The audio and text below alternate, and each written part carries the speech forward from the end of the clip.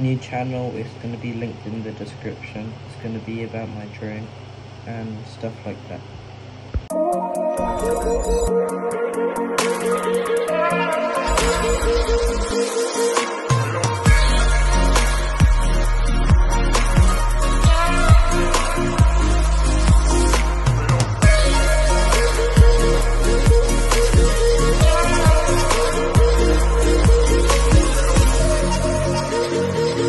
Thank you.